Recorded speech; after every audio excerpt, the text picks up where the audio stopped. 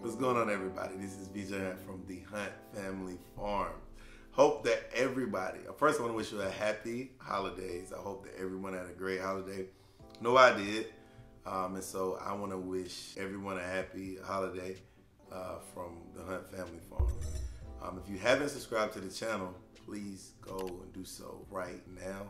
And also click that bell for that post notification so you can get an alert every time that we do upload. Obviously, we're not at the farm today. Uh, this is more of a more intimate video, uh, kind of just talking about some of the struggles that we've had. I know a lot of the times, even whether it's in business or, you know, your business is different from mine, obviously, or if you're in farming and you're trying to get started, I'm gonna be honest with you, it's, it's tough, right? It's tough on your end, like it's tough on our end. So in this video, I kind of want to tell you the story of myself and my sister getting into the sheep farming business and kind of some of the things that we wish we would have learned prior to jumping into this business venture, right? In this business venture, my sister and myself, when we kind of started talking about it, we talked about, you know, getting into sheep. And on my family farm, we've done cows, we've done pigs, we've done all kind of uh, vegetables, tobacco, different things. But obviously, with this sheep thing, was something new. This was something new that we were kind of stepping in. So we did our research, which that's kind of how it starts always. Any business venture, you know, you're gonna always start with research. So my sister and myself, we did this research. We decided, hey, we want to do sheep. My sister and I, we both enjoy lamb chops, and I know that there's a large percentage of people that enjoy lamb chops. So that was one of the things that kind of piqued our interest to get into uh, this business venture. Any business venture, my advice to you is to, like I said, do your research prior, prior to. Uh, we looked at different breeds of sheep. We decided to settle on Dorper sheep. Um, and so we were looking online, we were researching, trying to find people that were breeders. Uh, and I found, I actually found a farmer who was interested in kind of getting out of the business. Uh, and so he was like, you know what, I'll sell you the majority of my flock. So, you know, I drove out to the farm, checked the sheep out, asked questions, did all the things that you would do um, before purchasing anything to jump into it. And he was saying, you know, they're easy animals to deal with, everything is great. You know, most of these females, which are called ewes, uh, fun fact, um, a, a, female sheep is a ewe, a male is a ram. Like it was like most of these uh, ewes have been exposed to a male, so you know when you when you take when you if you purchase these, you know they'll lamb in a couple of months, and you'll probably get all your money back in the first go around, right? So of course, any person that's interested in going into business is gonna say, "Wow, that's a great deal, right? I can pay the money now, and I can see my return in a couple of months." Little did I know that uh, the road is a little tougher than you know than imagine. So my sister and I, we go out, we make this investment, we purchase these sheep. I think we purchased about 10 ewes, um, which a couple of them were were heavily pregnant, like they were getting close to, to lambing. And so obviously our first time jumping into it, we don't know anything, right? So, you know, he told me the first ewe, oh, she's probably gonna be doing about three weeks. I'm like, all right, cool. Well, I got time, you know, to prepare space and get my ducks in order and all of those things. And you know, we bring them to the farm, and you know, our fencing is right, and you know, we're looking around. We're like, okay, we got ten ewes. They usually twin. We are literally counting our chickens before they hatch. Literally, we're doing that, right? We, in our mind, we're going to be the most successful sheep farmers there are, you know what, we got 10 today. We're going to move them to this pasture because we're not going to have enough space for them. Like, we're going to we're going to sell these sheep, we're going to do this, we're going to do that. We are counting dollars. Little did we know what was in store. So the first lamb that the first the first ewe that lamb, she had her lamb and it died. She had her lamb about a week after I had her. Thought I had three weeks. She popped it out in one week and she died. So at the time, you know, I, my sister and I, we go out. Oh, it's okay. You know, you're gonna take losses, right? There's losses in business. You know, you hear all those things, right? Then about a week later, she dies. So I'm like, okay, it's all right. You know, we're down to nine. We're good. We're fine, right? And then you know, about a week later, another one just drops dead. So I'm like, okay. Now we're down to eight. All right, cool. You know, hey, eight's not a bad number. We're gonna we gonna we're gonna still make it through. The guy called and says, "Hey, I got two more ewes for you. If you want to purchase them, I give them to you for a good price." Great. We're gonna we're gonna we're gonna invest more money into it, right? We're gonna buy these two other ewes and we're gonna we're gonna be great. So we buy those two ewes and they come in, and you're like, "Yeah, man, all right, we back up to ten we still everything's a go. All everything's all like we planned it, right? We're gonna have these twenty plus uh, sheep. We're gonna make this money, and then another one dies. Okay, and then another one dies, and then another one dies. And at this point, I'm asking myself, what is going on? And so, you know, during this time, we're doing all this research. Why are these sheep healthy today and they're dying tomorrow? It's like such a learning experience.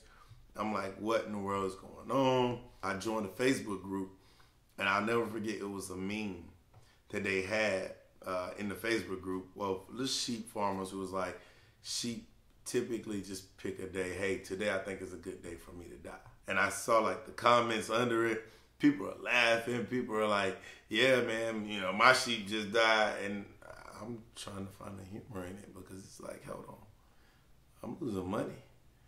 This isn't this isn't funny. Um, and so I, you know, I started to look into it and figure out like why, what, what's going on. You know, I had another one.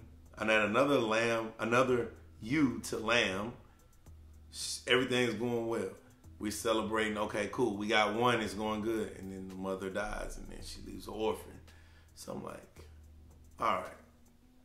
I mean, I was literally at my wit's end about it. Like, you know what? We got to get rid of these things because we're gonna we're gonna lose. We we're losing. Um, and and then I thought about it.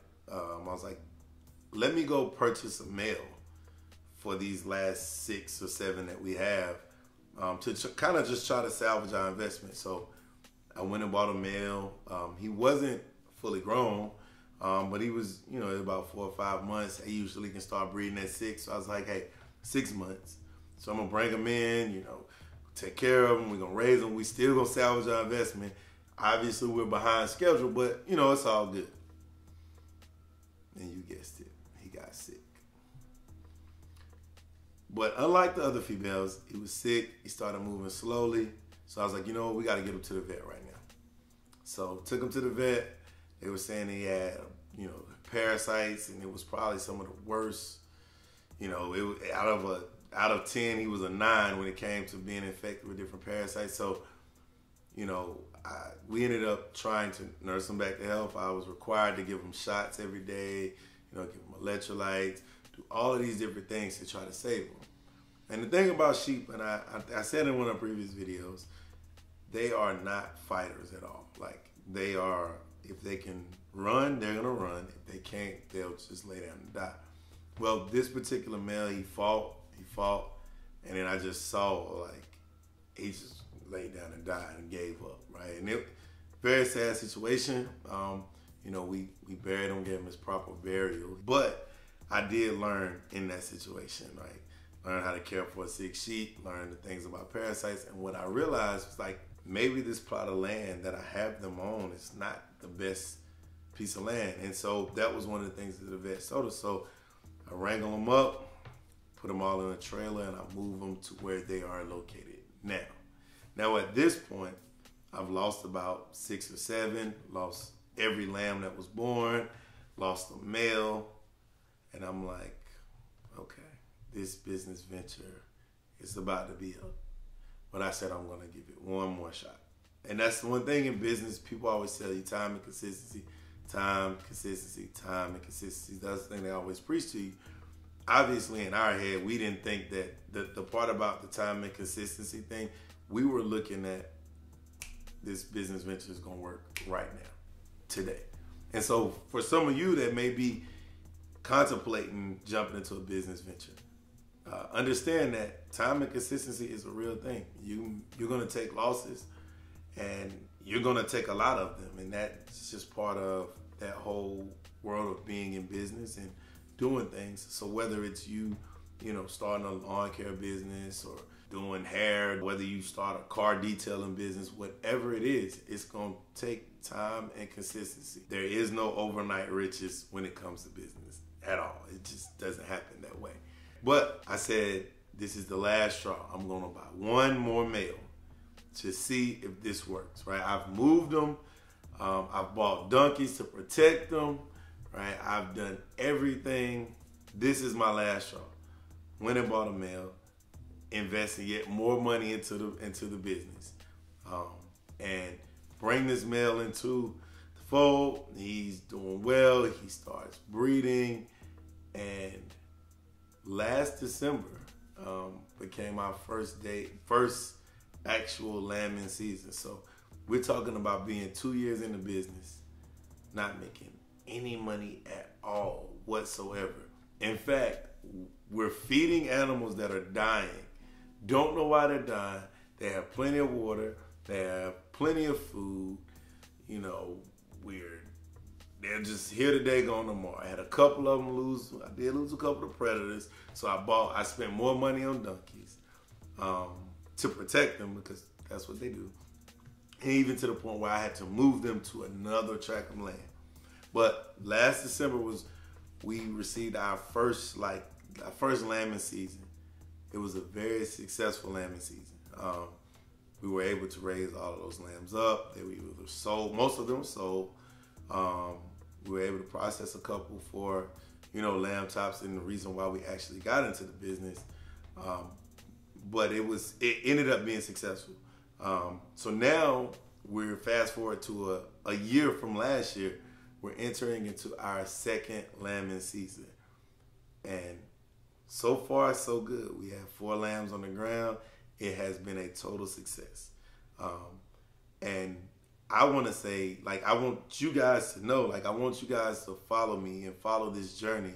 But if you are out there and it comes to business or any of those things that you are, anything that you're trying to, to jump into, have faith in what you're doing.